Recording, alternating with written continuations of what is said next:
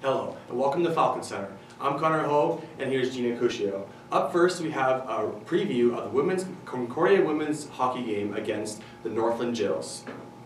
The Concordia Falcons women's hockey team will be facing Northland College in Ashland, Wisconsin on November 30th at 8 p.m. for game one of the two-game series. So far this season, the Falcons have played eight games, six of which have been for conference. In those eight games, they have had 24 goals and 26 assists, averaging around three goals per game and 25.9 shots per game.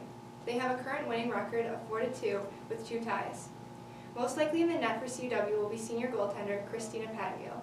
In the last game alone against St. Norbert, Pattengale had 18 saves in goal. With 125 career saves, Pattengale will be an important asset for the Falcons going into the next game. Another player contributing to the Falcons' success that we will more than likely see on the ice is junior forward Natasha Wanless with seven goals so far this season. This makes her the highest scoring player for CUW as of right now.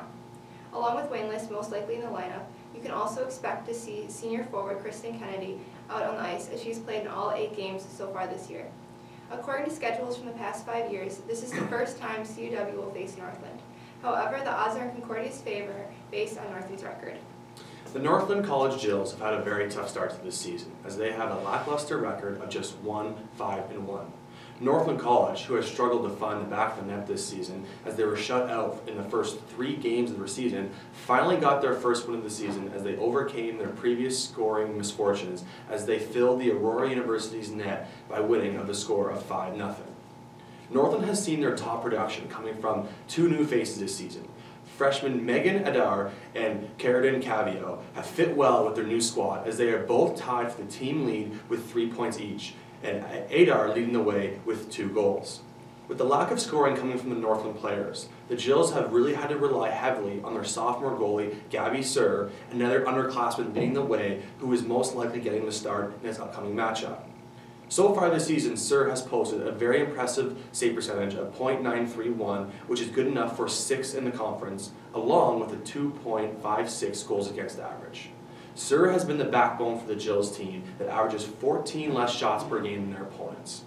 There isn't a rich history between these two teams, and it is the first time they are meeting in program history, so Northland will be looking to turn their season around with the birth of a new rivalry. Up next, we have Israel Mitchell, who will highlight the women's basketball game against the Concordia Chicago Cougars. Thank you, Connor. My name is Israel Mitchell. Today I'm going to talk to you about the CUW women's basketball team. Let's get started, shall we? On November 27, 2018, the 2-1 Concordia University women's basketball team traveled down south to River Forest, Illinois for an early season divisional, divisional matchup against the 2-3 Concordia University Chicago Cougars women's team. What happened, you ask? Well, let me enlighten you. Concordia, Wisconsin went bombs away in the first quarter, racking up four long balls, and the Falcons defense was in full shutdown mode, giving up just two points in the first 10 minutes of play. After one, the Falcons held a commanding 21-2 lead over the CUC Cougars. The Falcons' lead over the Cougars continued to grow as the second quarter continued on. The Falcons won into halftime with a 37-14 lead over the Cougars. Overall, the Falcons led by over 20 points for 23 minutes and 52 seconds of the game and completely dominated the Cougars in every facet of the game. Some of the key players in the game for the Falcons were senior guard Bailey Barker, who was scoreless in the first quarter, but after that exploded for 16 points, including two three-pointers just before halftime. She ended with 20 points to go along with six assists.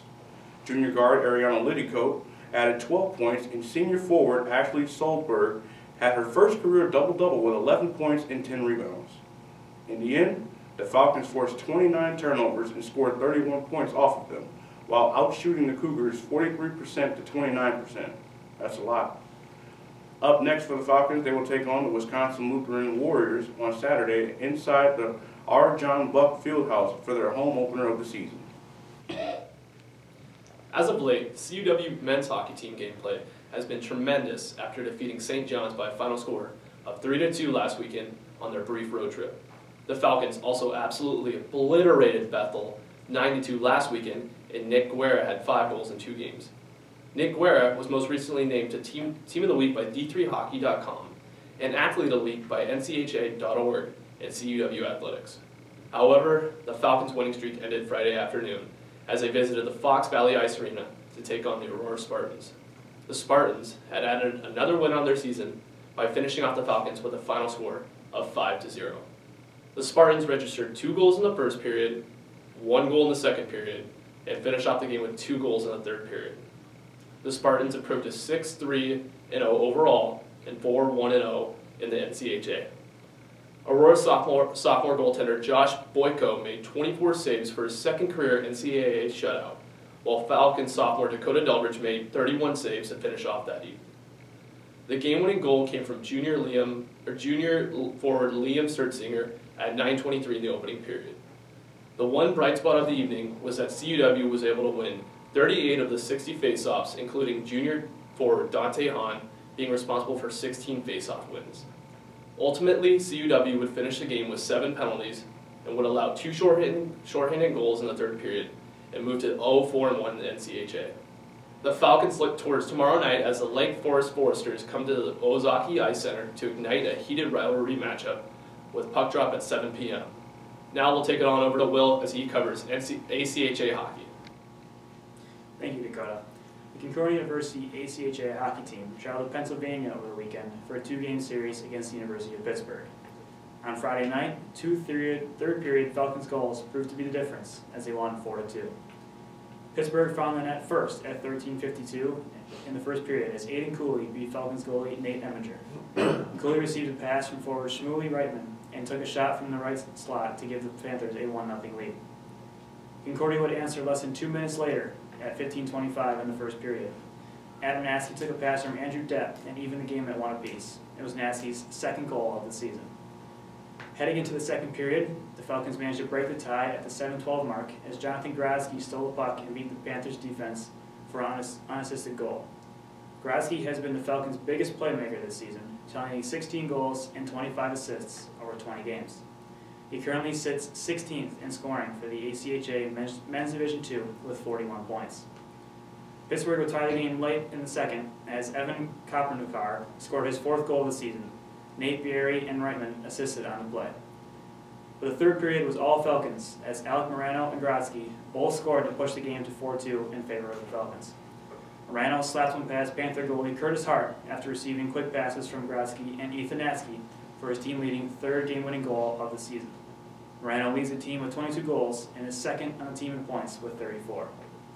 Grodzki added the insurance goal late in the third period off an assist from Cody Faber to keep the game out of reach. Eminger picked up the win in his first appearance of the season. After missing the first couple months due to injury, he played well, stopping 19 of 21 shots. Hart wasn't quite as effective for Pittsburgh, stopping 21 of 25 shots, and was charged with the loss. He is now 4 and 6 on the season with a 4.36 goals against average. The win gives CUW their sixth of the season, and the record is now 6 and 13 overall. The second game of the weekend series comes tomorrow evening with puck dropping at 9 p.m. Now we'll take it over to Logan for a re- recap of a recent wrestling match. Thanks, Will. On Saturday, December 1st, the Falcons wrestling team competed in the 15th annual MSOE Invite in Milwaukee, Wisconsin. Falcons were coming off their hosting of the 26th annual CUW Open in the R. John Buuck Fieldhouse. Eric Martinson was the top finisher for the Falcons in that competition, finishing the day 2 and 2 after being granted a first round bye. No Falcons placed in the tournament, but they still left feeling confident being that it is early in the season.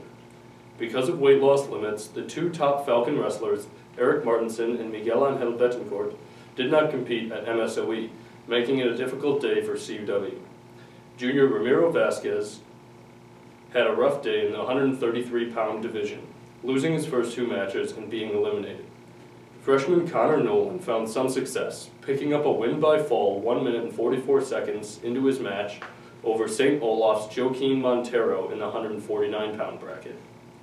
Another freshman, Cameron Caldwell, also earned one win on the day in a match against Gavin Smith from Millikin at 165 pounds. Junior Alex Montbriand pulled out a close one in a 7-6 decision against Elmhurst Matt Tobin. The final Falcon to record one win on the day was freshman Colin Riley, who had an 11-2 major decision versus Ethan, Ethan Smith from Elmhurst in the heavyweight division. The remainder of the Falcons, Sean Crackey, Brian Big Papi Diaz, Reed McNeil, and Danny Fay finished the day 0-2. The Falcons' next bout will be on Thursday, December 6th at home in the R. John Buuck Fieldhouse as they host Lakeland in a dual meet. They will then get ready to travel to Las Vegas to compete in the Desert Duels at the beginning of the Christmas break. You've been watching Falcon Center.